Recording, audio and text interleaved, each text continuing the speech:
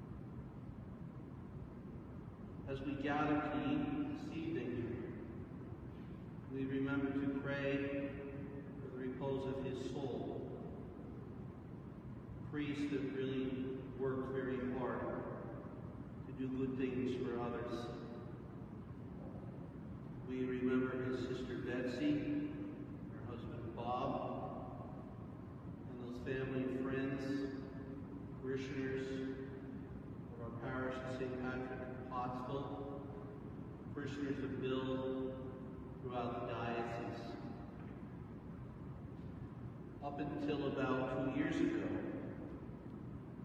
St. Patrick's Parish in Pottsville had more ordained sons than any parish in the diocese.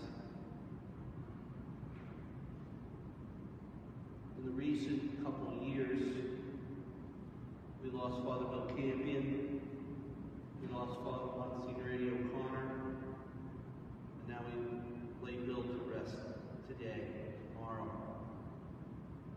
So there's sadness because the wealth of vocations that came from this parish for more than a hundred years is now diminished. We also, in a very special way, in addition to Betsy and Bob, give our condolences to our pastor, Father Phil Rogers. Since his coming to St. Pat's, he has now had to bury two classmates. It's very difficult. Guys you spend time with in the seminary. And as we were waiting to come out, we were all sharing funny stories of what it was to be with Bill in the seminary, the time that he and I would go down to the shore with Monsignor Boyle to open up Monsignor Boyle's summer home. These are all very fond and happy memories. So let not death tonight disturb the happy memories that we have of Father Seifert, of the gift of priesthood, of the times that we've all spent with him, and he's brought us great joy, the times that he took care of ministering to God's people. In the name of the Father, and the Son, and the Holy Spirit, amen. The grace and peace of God our Father, who raised Jesus from the dead, be always with you. And with your spirit. My brothers and sisters, we believe that all the ties of friendship and affection which knit us as one throughout our lives does not unravel in death. Confident that God always remembers the good we have done and forgives our sins, let us pray, asking God to gather Father Bill in himself.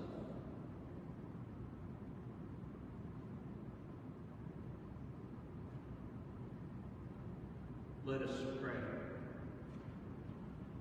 Lord God, you chose our brother Bill to serve your people as a priest to share the joys and burdens of their lives.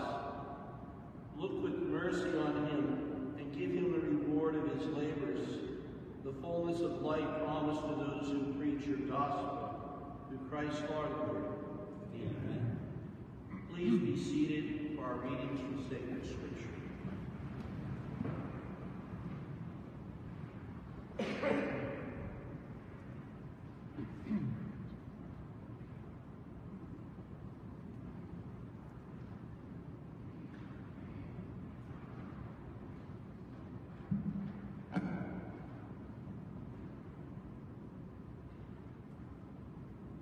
A reading from the first letter of John. See what love the Father has bestowed on us, that we may be called the children of God. Yet so we are. The reason the world does not know us is that it did not know him.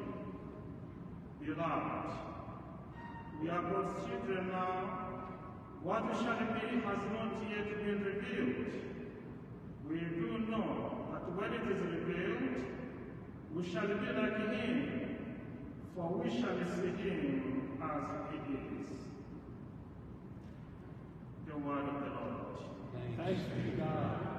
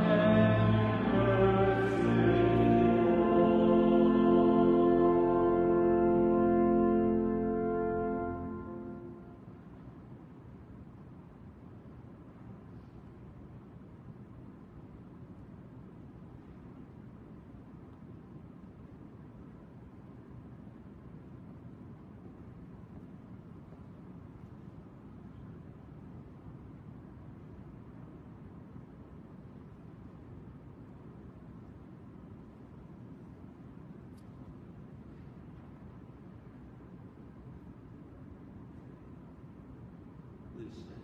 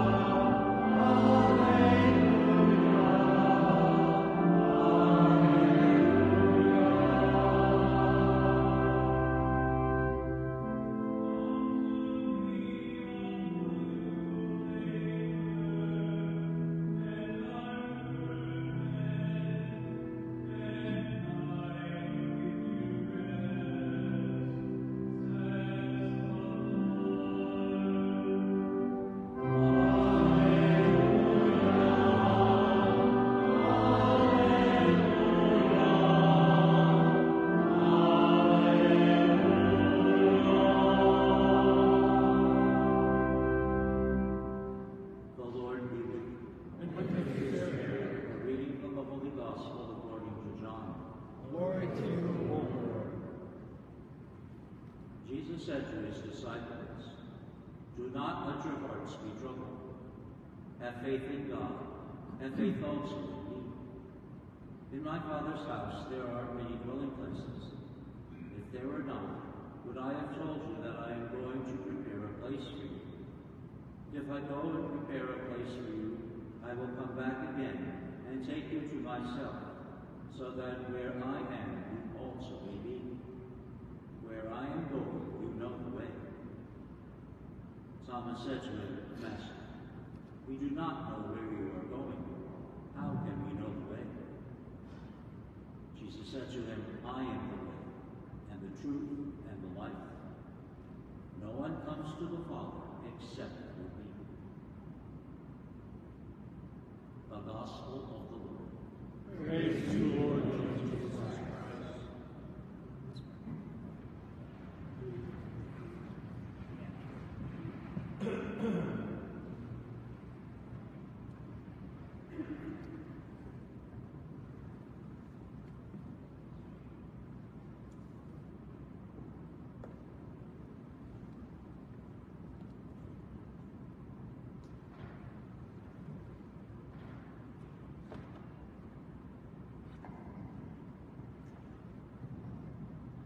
I have my own story to tell about Father Seifert. When he was the pastor of St. Stephen's Church in Allentown, I was invited to come and do a baptism. And I, I practiced the Latin and I was, got all, I made sure I knew to do the anointings and all that stuff. And he was with me all the way. And I thought I did a pretty good job. This legally blind priest, I managed to the Latin, I got the, got the anointings, I got the salt on the lips of the baby, all that, all that. And when it was all over, Monsignor pulled me aside and said, Ernie, when you poured the water, you missed it the third time. So it's an invalid baptism. We have to do it all over again. Not the whole ceremony, but just the ego te baptizo nome patris et filii spiritus. So, because of Father Simon, every time I do a baptism, I always ask the people, please make sure I pour the water three times over the head and make sure I baptize the right end.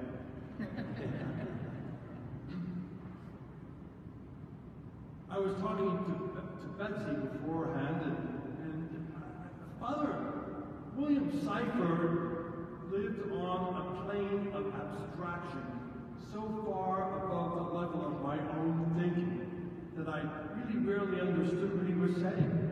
Um, I almost felt that I was his boy Sherman, and he was, I, I, and he was my Mr. Peabody. If those of you who recognize that, it means you're old. On the rare occasions I did comprehend what Father Seifert had to say, I thought he was downright brilliant. So let me give you only three instances where I understood Father Seifert. One theological, one practical, and one mystical. Instance number one, theological. The church teaches that in order to commit a sin, there must be matter, knowledge, and consent. One must do something wrong, one must know it's wrong, and one must want to do it. Father Seifert used to draw a triangle on the blackboard. He said, if all sides of the triangle are solid, the matter is serious, certain, and the consent is full, there is mortal sin. If any of the sides of the triangle is dashed, or maybe dotted, in other words, maybe not fully present, if any of the sides of the triangle is dashed, we have a venial sin. If any of the sides of the triangle is totally missing, there's no sin at all. And to this day, I still use that illustration in teaching students about sin. Thank you, Father Seifert. Instance number two, practical. Father Seifert would put a line of blue painter's tape on the classroom floor, on his classroom floor, from front to back, dividing the room exactly down the middle. He would then ask his students to try their best to walk the line. And those who did, did so with difficulty. And then Father Seifert would then ask, he would then ask the students to repeat the exercise, but this time keeping their eyes fixed on the large crucifix that hung in the front of the room above the line, front and center. This time, all the students found the task easier. And so the lesson is, it's easier to walk the straight and narrow if our eyes are fixed on Christ crucified. So instance number three, mystical. Father Seifert used to say that one's doctrine of the Eucharist is directly related to one's view of salvation. Martin Luther, for example, could not believe that anything low could be transformed into something higher. And so for Luther, the bread and wine of the Eucharist were somehow mystically covered over with the presence of Christ. But this idea of covering over was exactly how Luther viewed, uh, how Luther viewed the, the redeemed soul. Soul touched by grace, Luther said, was like a Misthaufen mit Schneebedeck, a manure pile covered with snow. So, by contrast, the Catholic teaching on transubstantiation teaches that the bread and wine of the Eucharist are transformed into the body and blood of Christ, only the outward sense perceptions of the bread and. This, Father Seifert said, accords perfectly well with the Catholic idea of conversion and redemption. Inner conversion despite external, uh, external appearances remaining the same. Inner conversion despite external appearances remaining the same. And here's where the mystical comes in. Father Seifert said, Jesus does not transform cheap bread and wine into his body and blood for the sake of the bread and the wine. He does it for us. And if our Lord is willing to transform cheap bread and wine into his body and blood, bread and wine which I probably wouldn't serve to a guest, well, what will Jesus not do for our hearts? And so to sum up, Father William Seifert taught with extreme clarity for those whose minds were sharp enough to perceive, rarely mine. He also knew that he could avoid sin, both mortal and venial, by keeping his eyes fixed on Christ. And his ultimate goal was to be transformed into Christ himself. In the end, despite his lofty academic thinking, his prayer was the same as that of the most humble Catholic. Jesus, meek and humble of heart, make our hearts like unto thine. Rest in peace, Father Seifert. Thank you for everything you've done for me.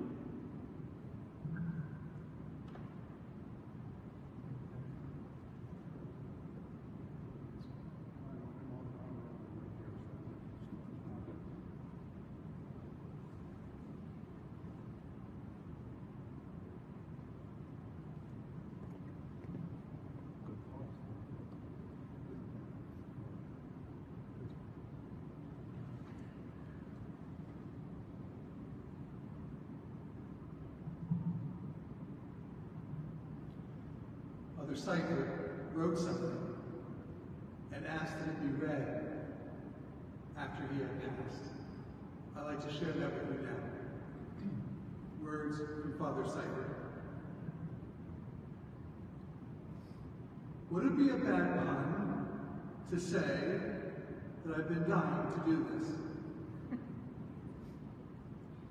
You cannot have thought that I would not have something to say even about my own funeral. When have you known me to be lacking some comment about things? So a simple thing like death should stop me? You must know that I've loved you, even as I have shown that love for you. Please forgive my oafish and sometimes plainly dumb attempts, where I have hurt feelings, even sinned against you.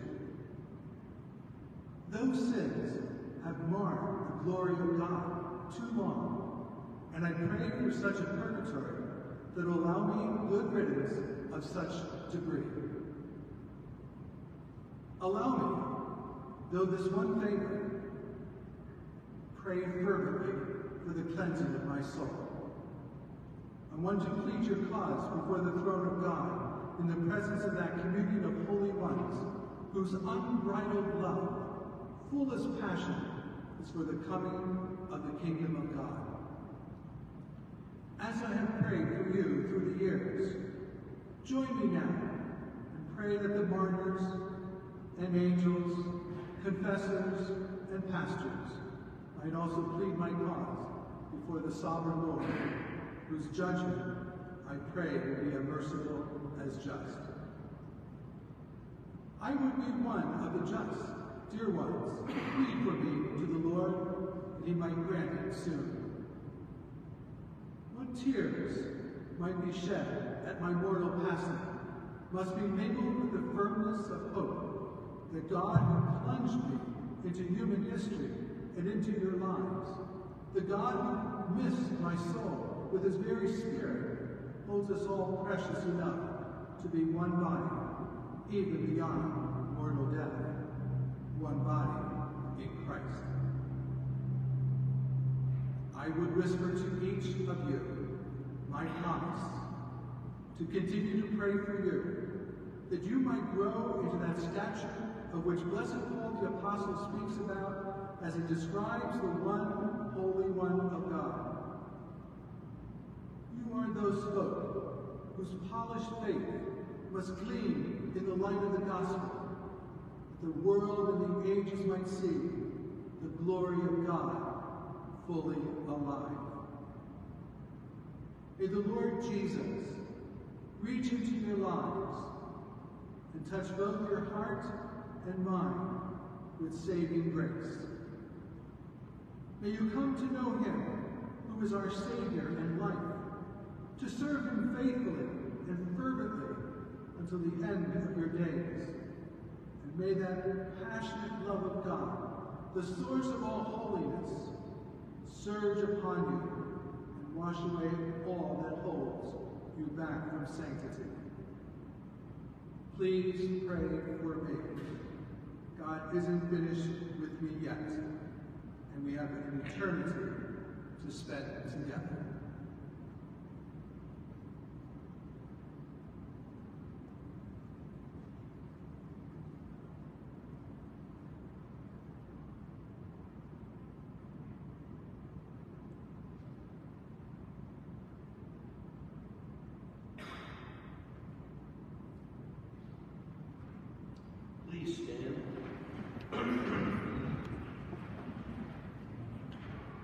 Christ is the good shepherd who laid down his life for his sheep. Let us praise and thank him as we pray. Nourish your people, Lord. Christ, you decided to show your faithful love through your holy shepherds. Let your mercy always reach us through them. We pray to the Lord. Nourish your people, Lord. Through your vicars, you continue to perform the ministry of shepherd of souls. Direct us always through our leaders. We pray for the Lord. Nourish your people, Lord. Through your holy ones, the leaders of your people, you serve as physician of bodies and our spirits. Continue to fulfill your ministry of life and holiness in us. We pray to the Lord. Nourish your people. You taught your flock through the prudence and love of your saints. Grant us continual growth in holiness under the direction of our pastors. We pray to the Lord. The shepherds of your church keep your flock from being snatched out of your hand. Through them you give us your flock eternal life. Save those who have died, those for whom you gave up your life. We pray to the Lord. Nourish your people, Lord. You yourself are the only visible possession of our holy pastors. Let none of them want at the price of your blood remain far from you. Grant your priest, Father Cyprian, eternal rest. We pray to the Lord. Nourish your people, Lord. My brothers and sisters, our true home is in heaven. Therefore, let us pray to our Heavenly Father as Jesus has taught. Our Father, who art in heaven, hallowed be thy name. Thy kingdom come, thy will be done, on earth as it is in heaven. Give us this day our daily bread, and forgive us our trespasses, as we forgive those who trespass against us. And lead us not into temptation, but deliver us from evil.